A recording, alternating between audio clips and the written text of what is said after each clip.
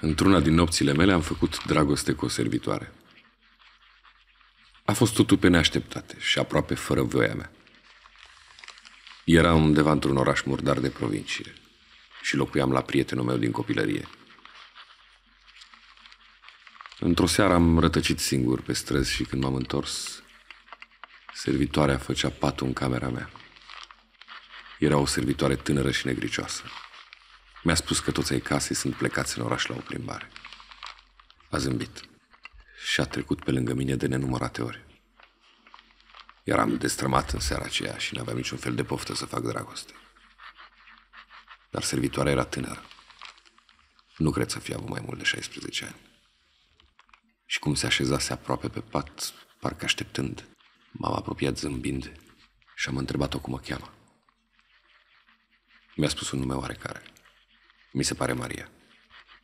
Iar ea s-a prefăcut că se rușinează. Cred să fi fost aproape de miezul nopții. Prin ferestrele deschise răzbătea zgomotul confuz al orașului. Acolo, undeva, erau teatre, cinematografe, femei splendide și automobile. Aici eram numai eu cu servitoarea. Ea n-a zis nimic. A închis numai ochii.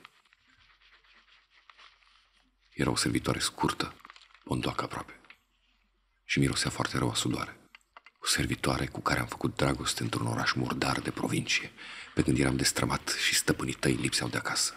Servitoare pe pulpe cu două dungi roșii de la jartiere. Servitoare cu pântecul mirosind a ceapă și a pătrunjel.